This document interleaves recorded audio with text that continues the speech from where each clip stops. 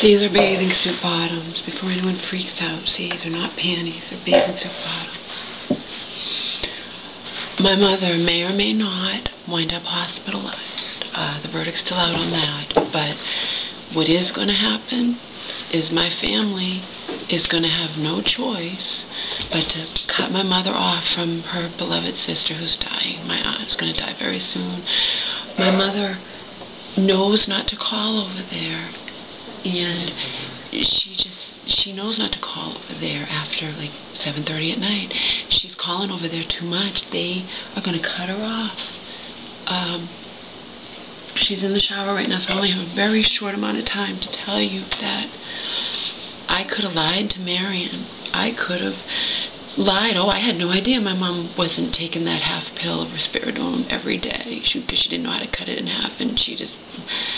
But I didn't. I told the truth.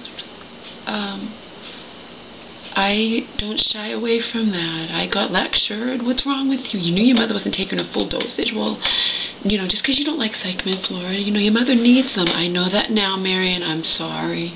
You're still the enemy. I'm thinking in the back of my head, though. But I shouldn't have done that. But you know what, Marion, this was going on before I moved in here. All of this would have been happening even if I wasn't here. And for seven months, I made my life, mother's life a hell of a lot more enjoyable, okay? If you genuinely care about me, yeah, I was wrong. In my mind, they they over medicate people. So if she's taking one pill I knew she was taking her meds and she was fine. And she's taking one instead of one and a half but you know that was wrong of me. But it would have been happening anyway. And Marion realized instantly when she came over yesterday only because my mom was acting cuckoo over the phone. And Marion instantly knew that my what's this extra bottle Samantha? Or two bottles. What's going on? And my mom confessed.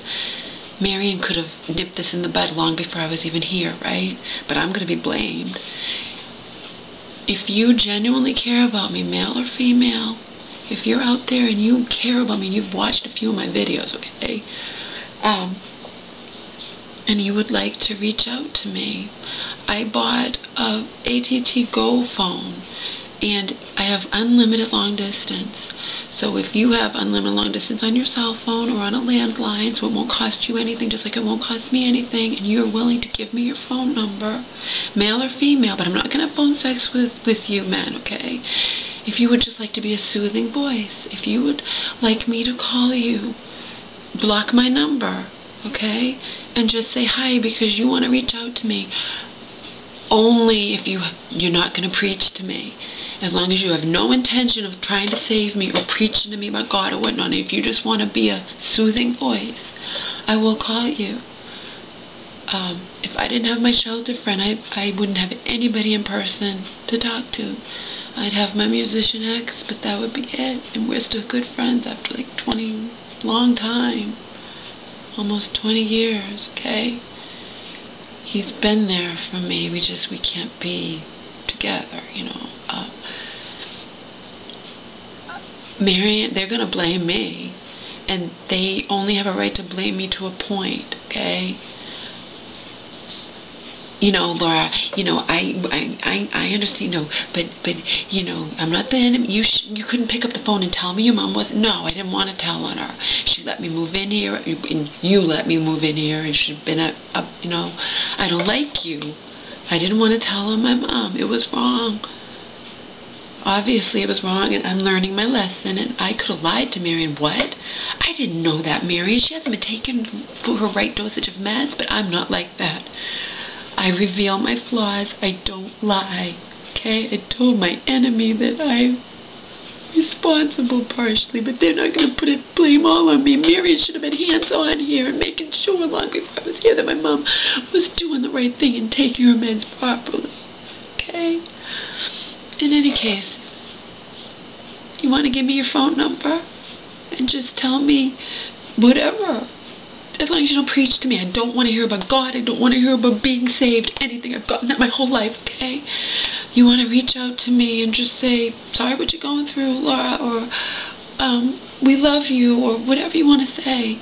You're willing to give me your phone number. I can call now for free. Anywhere in the U.S. Long distance. If As long as I'm calling and not costing you anything. What does it hurt? if you're not afraid to give me your number, you can't have mine. I'm not going to give you mine. And I'm going to block mine when I call. But And I'm not going to have phone sex with you.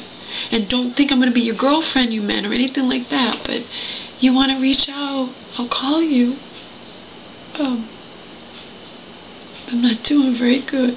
I can't find my kid. This is my mother, and they're gonna cut her off. I'm telling you. And she's gonna be saying, Laura, they cut me off from stuff. You know, she's gonna. I can't. I'm not strong enough. My cousin already told my mom tonight. I'm blocking you, Samantha. You can't be calling here all the time. I'm gonna call the phone company and block you. When my mom's not sick, she knows not to call over there. She, when she's sick, I mean, she was calling me in California in 2009. She hadn't been sick in like over 10 years. She was calling me at 3 in the morning. Time zone difference, 6 o'clock here when she would wake up, 3 o'clock or 4 o'clock, 7, you know what I mean?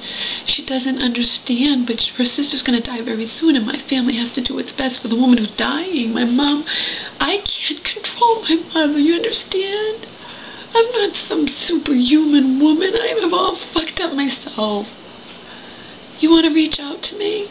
If you want to, here's your open invitation. And a couple, one of my friends, Skarvivuk or something, gave me your phone number before, but I can't go and find it. Give it to me again if you want. I'll reach out to you. I can call your landline if you have a landline. I mean, most people don't want to give anybody their landline, you know. You give me your phone number. You're willing to not have mine. I will block mine. Okay? Okay? And I will call you if you want me to. And I won't call all the time, don't worry. Could be one time thing, but I'm not going to have phone sex with you men. I'm not your girlfriend. You're not going to try to be my girlfriend, my boyfriend, or whatever. You try to do that, then I don't want to hear from you. But if you just want to say hi, if you want to say, I like your videos, I'm sorry for what you're going through, anything. If you want to reach out to me, if I didn't have my shelter friend who's a good friend, we became friends, we both had nothing. Now I have money, but and she doesn't. But I would have nothing. Do you understand? Nobody in person to talk to. Nobody. If I didn't have my woman that I would have only met, never would have met had I not even stayed in that shelter. She, I met her, I was there six and a half months. I met her the last couple months. Even if I hadn't had to stay as long, and it's worth it to me. When I look about now, six and a half months in that shelter equaled I met this woman at the very end of my stay there. If I had left earlier, I would never have met this woman. Totally worth it to me. If I didn't have her, I would have nothing. I'm sorry, I wouldn't have nothing. I'd have all you guys who care about me. And that matters more than you can imagine.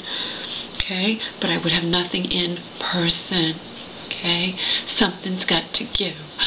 I either have to start drinking moderately again or start drinking moderately, know, not like I was drinking before, but drinking a little bit, or preferably find a guy willing to touch me in public safely. No, like I've talked about, where you're not going to expect me to fuck you when I first meet you, when you just want to give me some comfort. And but my shelter friend looked. I, I said I can't find this like needle in a haystack, you know, because I have to be attracted to him too. You know, it can't just be any guy. And um, we have to be compatible to a point, and you know. And she's like, that's going to be like a needle in a. Hay. She said it to me. You're not going to find that, Laura. It's going to be very hard. I know. I know. My Craigslist ad for it got flagged within a couple hours. Took it out again, got flagged again. But anyway, I'm in Massachusetts. I am not going to have phone sex with you, but anywhere in the U.S., any of you men, any of you women, you want to reach out to me, let me call you for free. It won't cost me a penny. And if you do it for a landline or your cell phone has unlimited, it won't cost you a penny. Do it if you want. I can use all the friends I can get. If you just want to say, I'm sorry for what you're going through, Laura, you know? I won't call you all the time. I won't be taken, you know what I mean? But if you want to do that, you can't have my number, but if you're willing to give me yours, then I'd love you too. I'd love you too. That's it. But you men have to understand you don't think I'm going to have phone sex with you and don't think I'm going to be your fucking girlfriend. Somebody who lived practically in my backyard discovers my videos for the first time doesn't even say, you know, I like your What? You, I live around here. Um, why don't, you know, just because you like me, I don't, you know, I'm not going to meet anyone who knows me from this. But if you would like to talk to me on the phone where I know there's no way you can know where I am, where I live, whatever, do it. If you want, do it.